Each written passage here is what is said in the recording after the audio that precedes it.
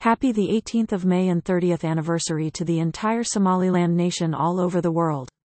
Published by Arawilo News Network. Arawilo News Network. Ahmed Yasin Mohamed Jama. This is indeed a unique period in the development of the Republic of Somaliland, and its path to sovereignty. In an era where most of Africa is ruled by a dictatorial government, Somaliland's exemplary electoral process over the past 30 years has been recognized around the world as a sign of the emergence or imminent appearance and a new dawn for Somaliland's independence. How does Somaliland become an independent country? Somaliland has been a free country for 30 years now. It is free because Somaliland has not received concessional lending or loans from international banks, international organizations, or the international community.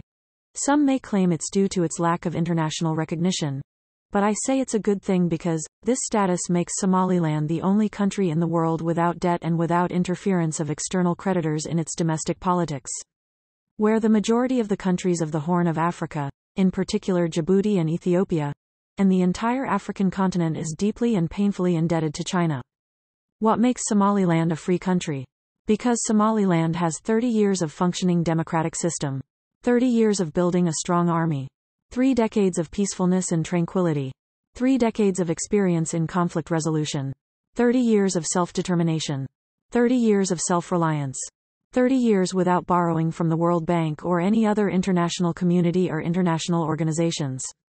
30 years of law enforcement. 30 years, keeping pirates away from our coastlines. 30 years to ward off the deadly terrorist with our own Coast Guard army. 30 years to fulfill all the conditions of a sovereign country. Three decades of using our own money. 30 years to five elected presidents. 30 years of democratic voting. For 30 years, the international community and the West have put a lot of time and effort into creating a government in Mogadishu. 30 years free from violence. 30 years of self-government and self-sufficiency. For 30 years, Somaliland has been taken hostage as a result of the chaos in Somalia. For 30 years, the U.S. has spent $4 billion on military operations and failed conferences in Somalia, while the equivalent of 0.0025% of this amount was devoted to similar, and more successful, peace-building efforts in Somaliland. 30 years disconnected from the global aid architecture, unable to access funding from the World Bank or the IMF and still living. 30 years of solid relations with neighboring nations, Asia, the Middle East and the West. 30 years of attracting international investors, which led to a strategy and agreement on infrastructure, such as the UAE, which has signed a concession agreement to manage the port of Berbera. 30 years of self-help and successful rebuilding of its own economy and infrastructure, shattered by Siad Barre's army, where a large part of its population has taken refuge in refugee camps in Ethiopia. Somaliland's 2021 budget is $339 million, up 2.9% from last year's budget, where the West and the International Monetary Fund, IMF, have continuously projected and embarked upon the federal Somalis economy. 30 years of monitoring and maintaining security, justice, health, education, production, environmental, energy, good governance, elections without international assistance. 30 years of doing all the right things, more than what the West preaches about. Over the past 30 years, Somaliland has been a discrete symbol of peace, democracy and good governance, while neighboring Somalia remains mired and embroiled in an apparently fatal and irreconcilable civil conflict. Despite Somaliland's international isolation, Somaliland continues to be an integral part of the Horn of Africa policy and regional prosperity. No matter how and what, Somaliland is entering a new phase of history regionally and globally. During this volatile period, Somaliland stands out and highlights a new geopolitical disclosure and plays a more neutral role, where it focuses its attention on its interests. Additionally, the relationship between Taiwan and Somaliland is a breakthrough in the pursuit and the quest for recognition of Somaliland. By simply using its geostrategic leverage in a judicious and appropriate way, Somaliland will no doubt regain its path to their long awaited recognition. In 2020, this marks a new beginning for Somaliland whose isolated international and regional status has changed dramatically with the establishment of new diplomatic engagements. 30 years of unbroken belief and faith in their independence and existence. The belief and faith that Somaliland can sustain over the next 30 years if necessary. In addition, over the past 30 years, Somaliland has embarked on a journey of accountability to demonstrate its capacity to be recognized, by essentially responding to all the demands of a state and to the fact that Somaliland has clearly demonstrated its superiorities over the poor and the impotent federal government of Somalia. Somalilanders are grateful to all their elders for their participation in the four decisive and crucial benchmarks that paved the way for 30 years of peace. First, and most importantly, the Burco Conference on May 1991, during which the sovereignty of Somaliland was declared and a government for the new republic was created. It was the humble beginning of Somaliland's 30 year journey.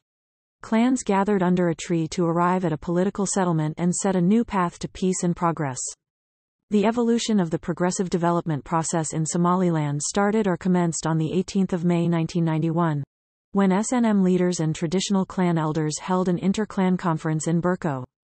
The second most significant landmark is the Sheikhs Reconciliation Conference in November 1992, when the warring factions in Berbera were reconciled and the foundations for the Borama Conference were established.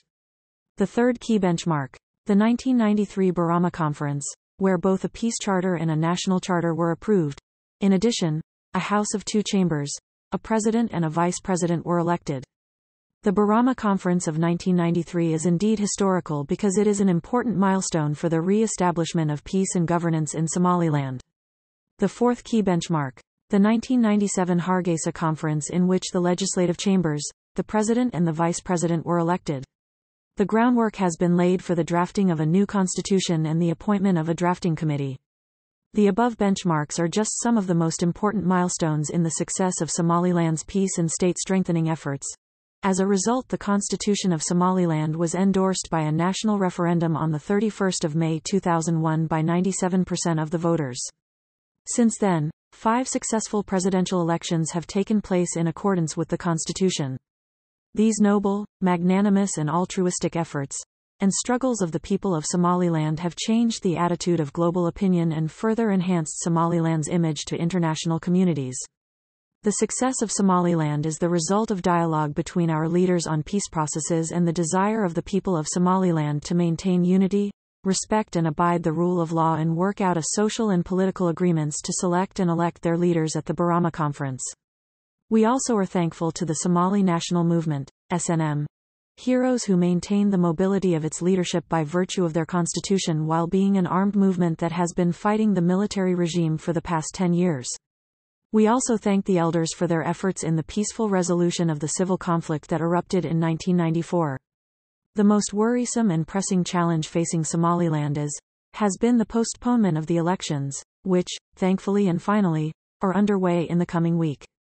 Somaliland's primary goal now is to continue to promote free, fair and peaceful elections and to ensure that the electoral process remains on track and democratic. Previously, Somaliland was able to hold six successful elections in the face of legal and technical difficulties. The presidential elections in June 2010 and 2017 were an enormous success, not only in Somaliland, but for all Somali regions in the Horn of Africa as a whole. The Somaliland's nation needs to understand the importance of the elections, particularly those of May 2021, where the entire world is waiting for the results. Any obstacles or challenges associated with the electoral process should be understood and minimized in advance. Advice to the current president and the three party leaders. As defined in the Constitution, the president exercises and retains tremendous power. Much of the fate of the upcoming elections depends on your leadership and political will. The three party leaders must also ensure that the development and political reform agendas are addressed as a whole and that elections are appropriately and successfully organized. Admittedly, the arrival of political parties in Somaliland has been an important step in completing the clan's political transition. Beale. The successful House of Representatives elections in 2005 paved the way for Somaliland's system of representative democracy based on the one man, one vote principle. Somaliland's political parties were remarkably well organized and were able to run in all previous rounds of elections under challenging circumstances and therefore must shine again as the upcoming elections are the ones that the international communities are eagerly awaiting. The general public is hopeful that the leadership of the party will and will have to demonstrate balanced leadership in the upcoming May election.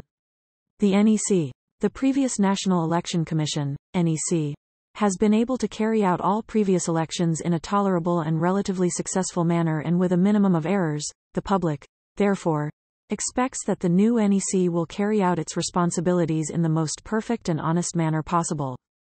The media. The Somaliland media rejoice at a certain degree of freedom, but, due to the lack of appropriate journalism and know-how in Somaliland, Somaliland media continue to act irresponsibly by reporting inaccurate and unidentifiable information.